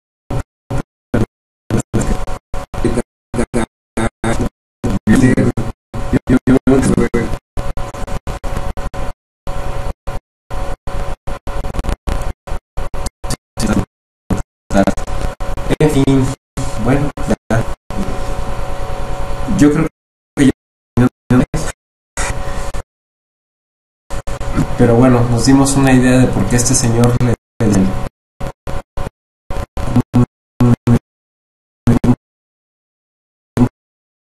estaba como él, ¿no?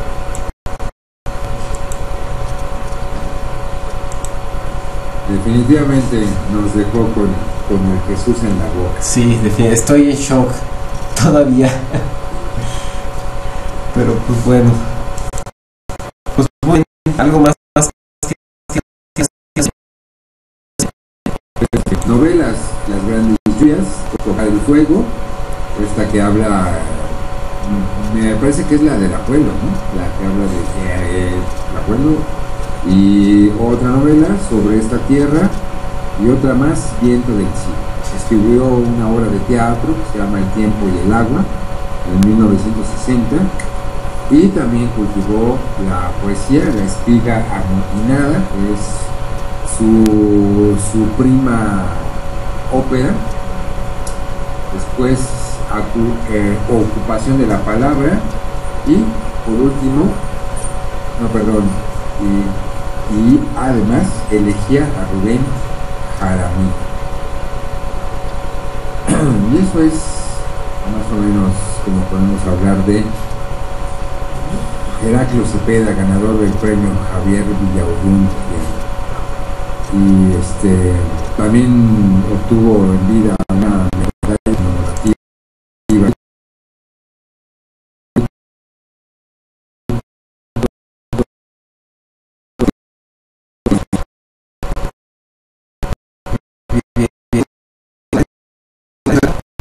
para los que no conozcan a Heraclio, a que se muera este otro escritor, este, hay, que, hay que leer, ¿no? Y pues nos vemos en el siguiente programa de Caja de Cuentos.